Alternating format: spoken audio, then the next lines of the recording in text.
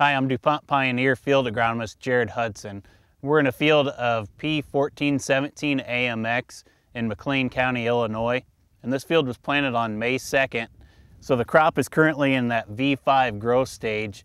So it's entering its phase of rapid growth and determining the number of rows around on that ear and really starting to set that yield potential for harvest time as well. We're excited about this product because of its yield capability and because it fits on a wide range of soil types. It can handle some variable soil to even the better ground with high yield.